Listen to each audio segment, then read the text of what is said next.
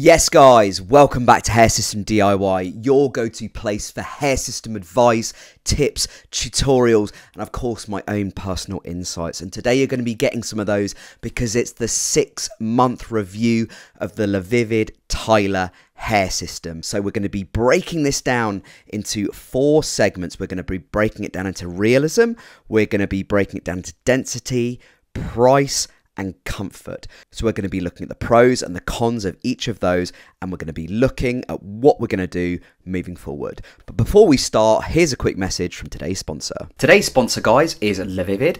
You can find them at lavividhair.com. You can get a 15% discount code on any stock hair system or accessories that I've negotiated with them just for you guys. It's Adam15. All the information is in the description box below this video if you want high quality hair systems with good shipping times and top customer service, consider LaVivid.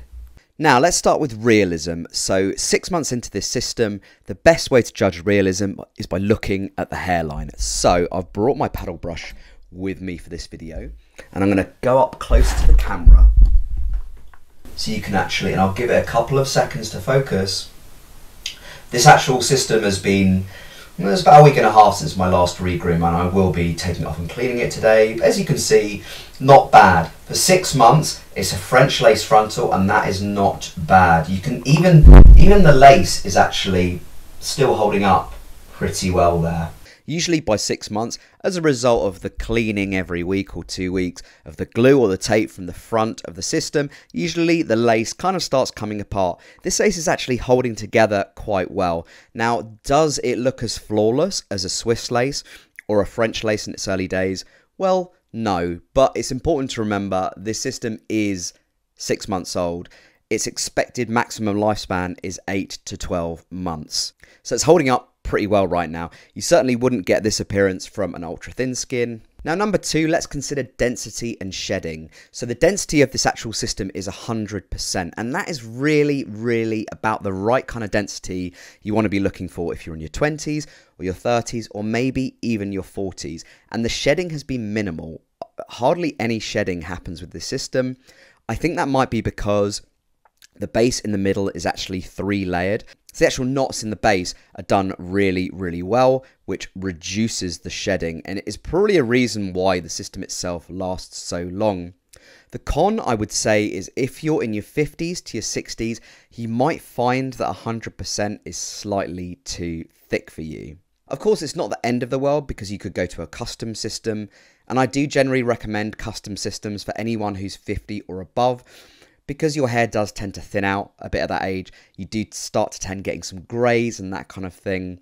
So I'd say the pros, barely any shedding, density absolutely perfect for someone in their 20s or their 30s, maybe even their 40s. Anyone 50s or over, density's probably a bit too thick. Now, when we assess the price, it's $389. It can be a lot cheaper than that if you use my discount code when you order the system, but that is what you'd expect to pay for a system that can last four months, not a system that can last eight to 12 months. So I think you can already gauge that I'm massively on board with the price, comparing it to how long you'll get. So LaVivid's Thor French lace, you get like four months out of that. With this, you're paying an extra $80 but you're getting 8 to 12 months. So in the time that you go through three French laces, you could have one Tyler system. Like you would save so much money. So for price, absolutely, I'm fully on board with what they're charging.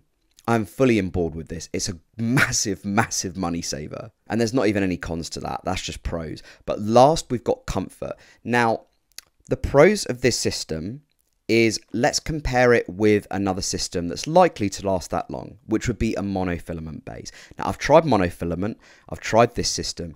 This system is so much comfier, so much comfier than a monofilament. I could wear a monofilament for a day and I'd be itching so much I'd need to get it off my head. With this, I can wear it for 7 to 10 days before I need to do a clean and rebond. Now, the con is it's not as comfy as a French lace, a Swiss lace, or an ultra thin. It's not as comfy as those. I would put it on par in terms of comfort with a 0.08 to a 0.1 millimeter poly. And I've actually got one. My next one is the Koyas, which is that system. And I would put it on par with the comfort of that. And that's pretty comfortable. So let's now talk about the future with this hair system. I'm expecting to get at least another four months out of this, and if I can get to 12, I'm gonna do it. I'm six months in. In summary, it's pretty realistic. The hairline's pretty decent. Okay, it's not as good as a French or a Swiss lace in terms of realism, but it lasts a lot longer. It doesn't shed. The density is great for someone in their 20s or 30s. You might need something a bit lighter if you are over that age bracket. The price is fantastic. It's virtually on par with pretty much all other systems, but it lasts two to three times longer. And in terms of comfort, you can easily get seven to 10 days out of it. I mean, I wore this in the Caribbean where it was like 90 Fahrenheit like every single day. So it's pretty comfortable, way more comfy than a monofilament, not quite as comfy as a French lace or a Swiss lace. And one last thing I didn't add earlier on in the video, and it's a little reward for anyone who stuck through till the end, is the blend. I have put a semi-permanent dye in my hair after I got back from the Caribbean. That was over a month ago. But the actual colour blend with my natural hair still looks pretty good. So overall, pretty happy with it. I'm going to be doing another video on this in about three months, the nine month review of the Tyler. But it's a system which I'm really happy with. It ticks a lot of boxes for me.